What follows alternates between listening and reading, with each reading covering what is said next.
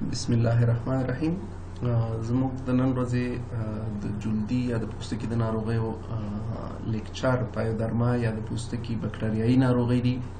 یعنی سکن بکټیریل انفیکشن دي د پوستکي د یو ګروپ پهي تشوشاتو څخه عبارت دی چې د پایوجنیک ارګانیزمونو په واسطه باندې منځته راځي په ټراپیکل یعنی حاره هیوادونو کې د اوړي او پسرلی په موسمونو کې چې باراني وي زیات منځته راځي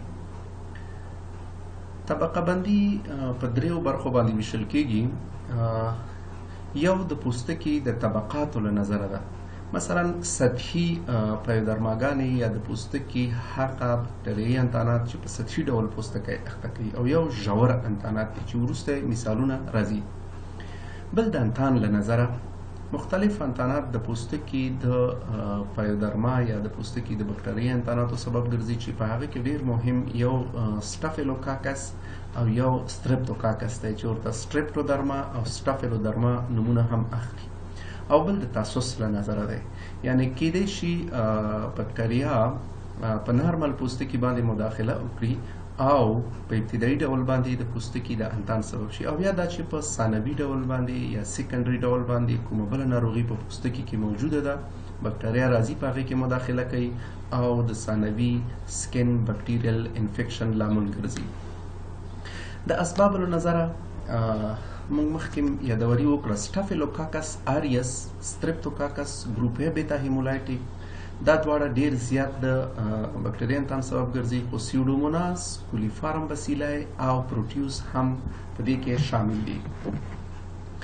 پتوجنسټي له نظره پایودرما د پوستکي دوه عمده فاکټورونه پکې رول لري یو اګزوجینس فاکټورونه او یو هم اندوجینس فاکټورونه دي ټولې هغه پایودرماګانې چې هغه سطحي دي په هغې کې اګزوجینس فاکټورونه ډېر رول لري مثلا کېدای شي یو سطحي تردي تخریشات خارښ لرونکي ناروغۍ د پوستکي سوځېدل دا هغه فاکټورونه دي چې د بیرون نه په پوستکي باندې واردېږي او سکن بکټیریل انفیکشن ته زمینه مساعدوي بل اندوجینس فاکټورونه دي په اندوجینس فاکټورونو کې کچیرته د عضویت ایمیون سیستم کمزور شي لکه د میتابولیک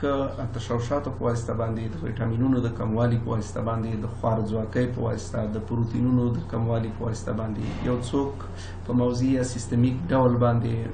سټیرایډ یا ایمونو سپریسیو ډرګز کاروي یا استعمالوي د اوږد وخت لپاره معافیتي سیستم یې کمزوری شي نو پای درماګانې پرې منځته راځي مزمنې نورې ناروغۍ ولري په دې کې هم منځته راتلی شي د پایودرماګانو یو نوع چې سټریپټوکاکل دی په دې باندې بحث کړو سټپټوکاکل پایودرماګانې تقریبا څلور نوع دلته موجودې دي یو پکې امپیټیګو کنټجیوزا ده مونږ دې ته په پښتو کې مرداردانې هم وایو او د وړو ماشومانو خصوصا د شیدو خوړونکو ماشومانو او چلډ هوډ په دوره کې په ابتدایي ډول په نارمل پوستکي باندې او یا په ثانوي ډول که چیرته کومه بله ناروغي په پوستکي باندې موجوده وي لکه سکیبیس یا چکن پاکس یا نورې خارښت لرونکي ناروغۍ کېدای شي سټپروکاک بکټریا ورباندې مداخله وکړي او د امپیټیګو کنټاجیوزا لامل وګرځي د ګروپ ای بیتا هیمولایټیک سټپټوکاک انتان ډیر زیات ساری انتان دی او په ابتدا کې هم کله هم چې ساحه اخته کوي ویزیکلونه منځته راځي ویزیکل موږ مخکې تعریف کړی دی چې الیویټډ لیژن دی کیویټی لري او مایع ده پکې کله هم چې بکټریا ده دلته د بکټریا په مقابل کې چې کوم سپین کرویات راځي دلته مداخله کوي انفلټریشن صورت نیسي نو پس پکې تولید تولیدېږي چې دغه یو پسچول رامنځته کوي کله چې پسچول او ایروژن وچوي کله چې وبخې کله چې پسچول او ویزیکل اوچ وي ایروژن منځته راځي او د هغه په سطح باندې کرسټ کېدی شي پیدا شي دغه تصویر ته کومه وګورو په دې ځای کې واړه واړه ویزیکلونه ښکاری بیا دا چودیدلی دي او دغه ساحه کې ایروژن ښکاری او دا پاس چې ور باندې کلک پوټکی پروت دی دې ته وایي کرسټ دا ور باندې موجود دی یا ارچک دغه کوم کرسټ چې پروت دی زیړ طلایي رنګ دی او کله هم چې ګروپي بتاهیمولایټیک سترپتوکک مداخله کړې ده کله کله د اکیوټ ګلومیرولنفرایټس لامل هم ګرځي تقریبا په 2 فیصد واقعاتو کې ټریټمنټ یې د پنسلین په واسطه باندې او د سیفالیکسین په واسطه باندې تر سره کیږي دا یو بل تصویر دی د امپیټیګو کنټاجیوزا که موږ وګورو د وړي په موسم کې په ماشومانو باندې نسبتا زیات منځته راځي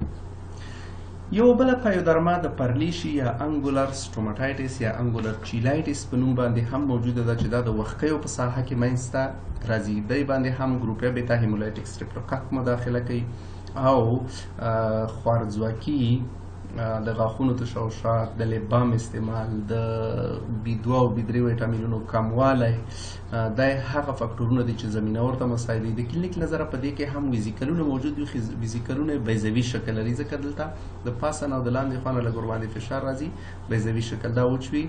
پسچول مینځ ته راځي او د ویزیکل او پسچول د چاودیدو نه وروسته په ساحه کې ایروژن او بالاخره کرست منځته راځي درملنه عین ډول لکه د امپیټیګو کنټاجیزو په ډول په دې کې هم خو پرډیسپوزینګ فاکټورونه او ویټامینونه هم باید ورته ورکړل شي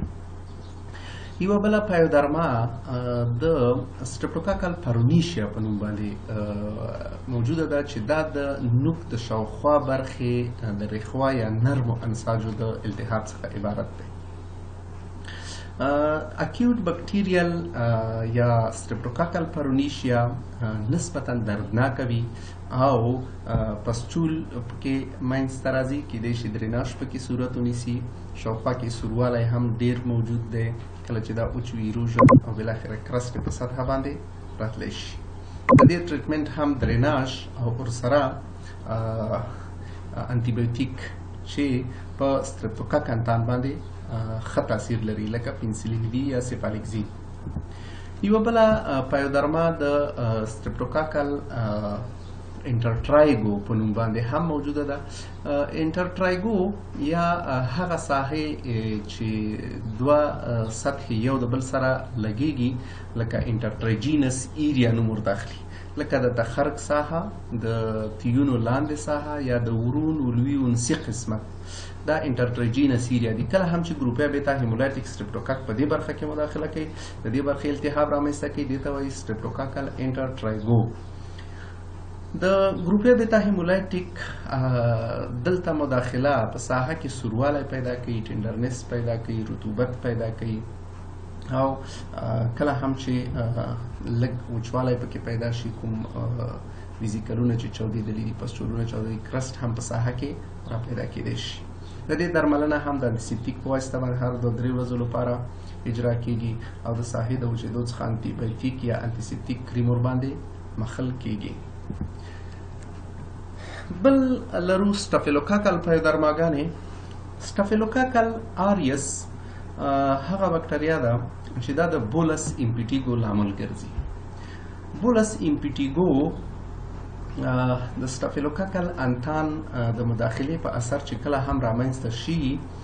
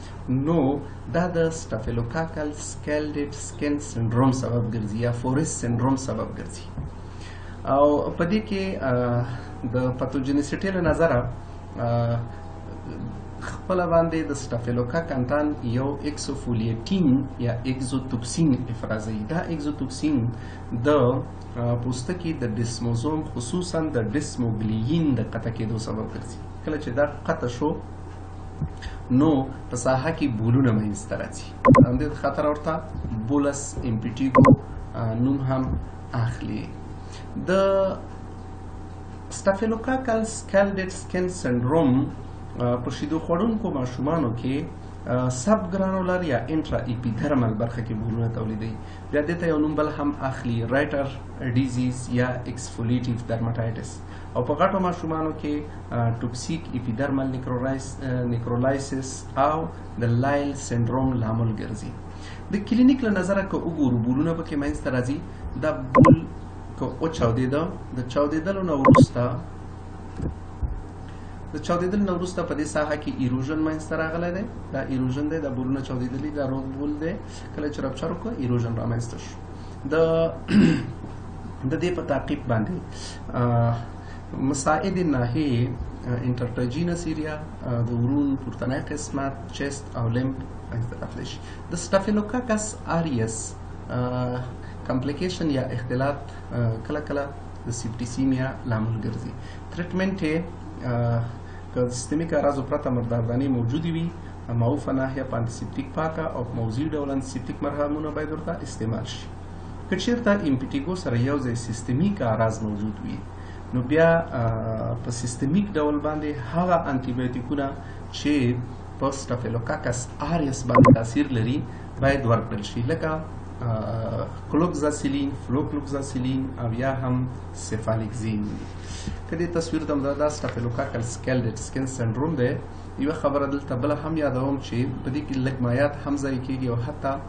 دغه ماشومان وای تاسو کلم چې سټافیلوکاکل سکلډټ سکن سندروم ورکړی وي د سوځیدنې په وارډ کې باید بستر شي او مایات هم باید ورته په منظم ډول باندې ورکړل شي دا هم د سټافیلوکاکل سکلډټ سکن سندروم یا فورس سندروم تصویرونه دي یو بل امپیټیګو لرو د میکسډ امپیټیګو په نوم باندې چې دې ته زیاتره سټافیلوکک او ستریپوکک دواړه انتانات پکې مداخله کوي په 15 کلنۍ عمر کې په دواړو جنسونو کې په مساوي ډول باندې خصوصا په وړي او په سرلي موسمونو کې منځته راځي د کلینیک له نظره که او قتل شي په لومړی مرحله کې ویزیکلونه منځته راځي دا چې بکټریا پکې مداخله کړي په دې ساحه کې پس هم تولید شوی دی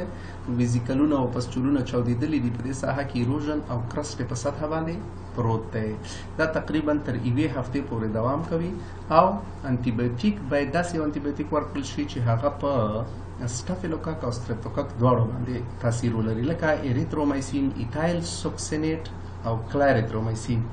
دا دوه انټي بایوټیکونه پکې شامل دي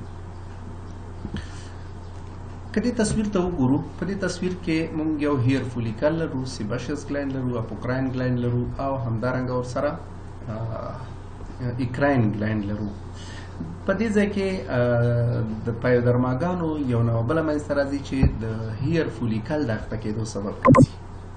په دې کې فولیکولر پایودرما د ویښته د فولیکول د التهاب څخه عبارت دی چې د سټافیلوکاکس انتان په واسطه باندې منځ ته راځي دا کېدای شي په سطحي ډول باندې وي او یا هم په ژور ډول باندې وي مختلفې نوعې دې کې هم موجودې دي او پکې سایکوسیس باروا یا سایکوسیس اولګارس دی چې په مذکر جنس او ځوانو کاهلانو کې د ګیرې او د بریتونو په ناحیه کې منځته راځي او د سټافیلوکاکس انتان په ابتدایي ډول باندې په ساحه کې کېدای شي په پولونه منځته راوړي او بل اخره پسچول پکې را پیدا شي دردناک هم وي او په تعقیب یې کېدای شي په ساحه کې سوروالی اوزایما خفیفه دا هم رامنځته شي کوم اندفاعات چې دلته موجود دي د دې اندفاعاتو خپرېدل زیاتره د ګیري د خرایلو په واسطه باندې صورت نیسي نو په دې وخت کې باید د ګیري د خرایلو څخه ډډه وشي ترڅو چې نورو برخو ته انتشار نشي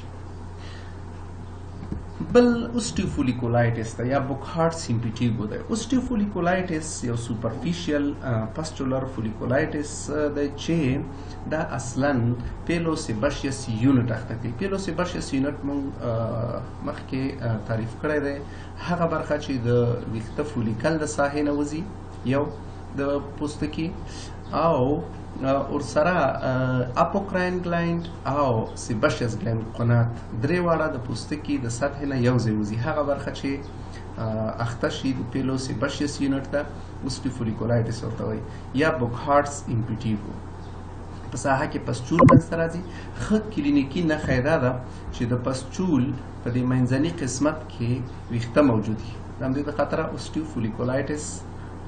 نوم یې ورکړی دی یو څلور ورځو په موده کې ښه کېږي او پسچولونه چوي او په ناحیه کې کرس منځته راځي د دې تداوی د فولیکولایټس هم که سوپرفیشلی انټیسیپټیک کارولای شو لوکل او سیستمیک ډول باندې انټیبیوټیک هم ورکولای شو او که چیرته ډیپ فولیکولایټس موجود وي سیستمیک انټیبیوټیک لوکل انټیبیوټیک پکې استعمالېدای شي فورنکل د ویښته د فولیکولونو د غوړو غدو او ویښتانو د فولیکولونو د شاوخوا مساج د التهاب څخه عبارت دی چې سببي عامل یې سټافیلوکاکس آریس دی په دې کې هم زیاتره په ډیسپوزینګ فاکټورونه یې اندوجینس فاکټورونه دي لکه یو ناروغ میتابولیک ډیس آرډر لري سټیراید استعمالوي هایپوویټامینوسس یا په مالنیوټریشن باندې اخته نو دا پکې منځته راځي که فرنکل یو وي د فرنکل په نوم او که متعدد فرنکلونه په ساحه کې پیدا شوي فرنکولوسیس هم ورته وایي د کلینیکی منظرې نظر څلور مرحله لري اوله مرحله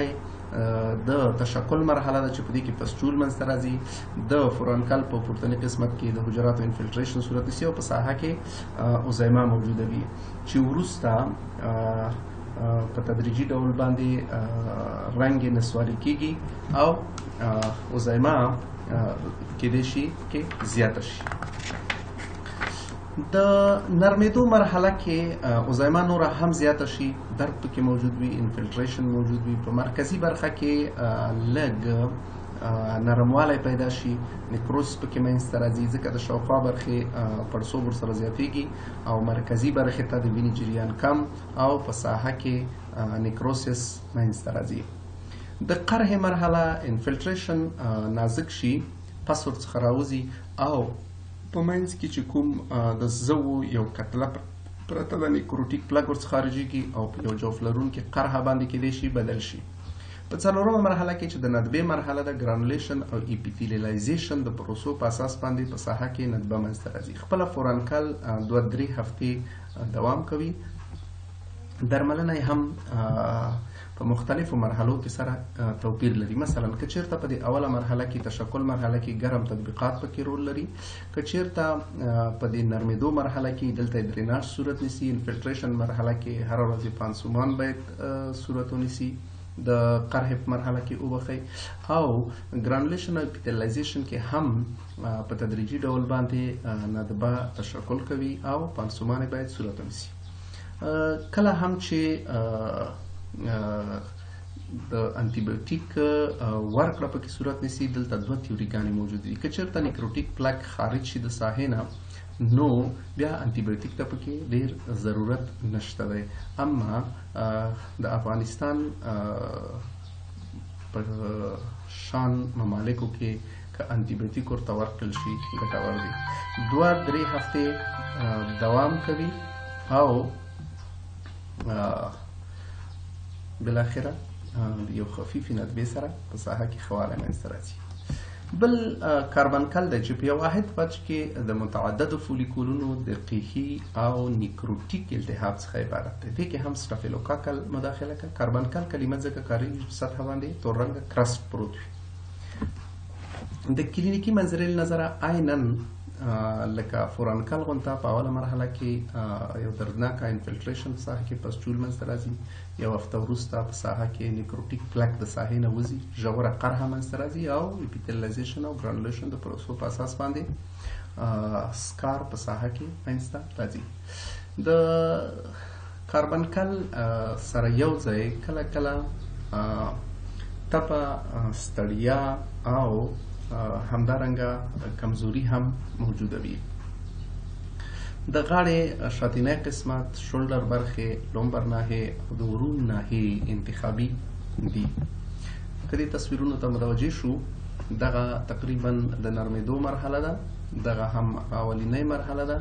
په دې کې دا هم نرمېدو مرحله او دغه مرحله د تشکل مرحله ده دیابت سویته غزي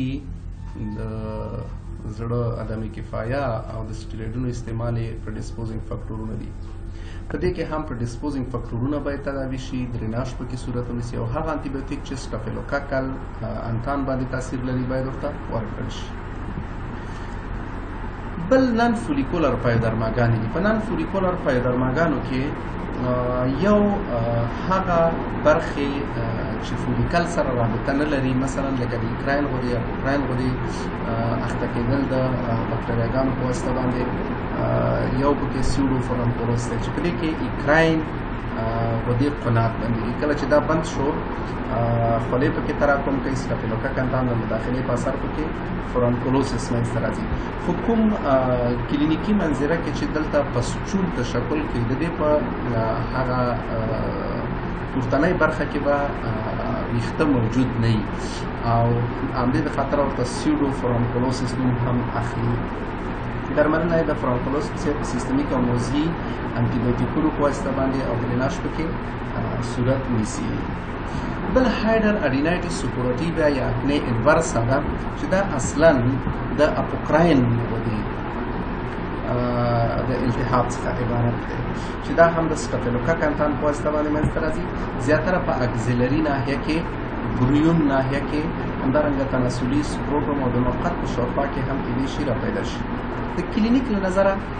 د هایپودرم د برخې نه د یو نوټ په ډول باندې شروع کوي بیا اپسې پکې تشکل کوي او بل اخره اپسې کوچوي او د زړرنګ پس سره پکې ډریناج منځته راځي دا هم دوه درې هفتې وخت نیسي او بل اخره یو کوچنی یا خفیف نوبلې سره خوارې خواته ځي تداوی کې انتیسیپټیک او اختیول چې ګرم تطبیقات یې 15 فیصد په ساحه باندې جوړ کېږي تر څو چې دریناج مرحلې ته داخل شي لوکل او سیستمیک انټي بایوټیک باید ورته ورکړل شي چې دا تقریبا تر یو دوه هفتو پورې ورته توسعه کېږي دا هم هایډر اډنټي سوپراتیوا تصویر لري بل اکتیما ده دا د ژورو په سودونو څخه عبارت دی چې د قرح او د تولید سبب ګرځي که دلته هم توجیه شو دلته قرح منځته راغلی دلته هم قرح منځته راغلی ده ژوره قرح یې جوړه کړې ده او دلته دواړه بکټریاګان دي هم سټافیلوکاک او هم سترپتوکاک مداخله کوي دواړه پکې هغه ماشومانو کې چې کمزوري وي او انیمیک وي زیاتره په لیګس کې منځته راځي ویزیکلونه او پسچولونه چې کله هم تولید شي دوه درې هفتې دوه درې وبخښئ دوه درې ورځې وروسته چوي ایروژن او کرس په ساحه کې منځته راځي او یو خفیف سکار سره التیام پکې سوده نیسي دغه اکتیما هم دوه درې هفتې دوام کوي درملنه لوکال انتیسیپټیکونه کارولای شو د ورځې څو ځلې او انټي بایوټیک هم په لوکال ډول باندې کریمونه لکه کونولون او جنټامیسین سینګ ته ترسه کړي دا پکې رول لري همدارنګه په سیستمیک ډول باید هغه انټي بایوټیک ورته ورکړل شي چې هغه په سټافیلوکاک او ستریپټوکاک دواړو باندې تاثیر لري لکه مخکې موږ څخه یادونه کړې وه لکه کلاریترومایسین او اریترومایسین ایتایل سوکسینیټ